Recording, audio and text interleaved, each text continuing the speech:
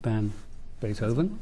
Bum bum bum bum bum bum bum bum. And I thought, play that backwards, put something to it, and you've got.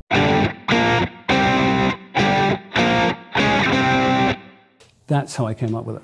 Hang on, hang on. Are you telling me Yes. that the famous riff of Smoke on the Water is from Beethoven?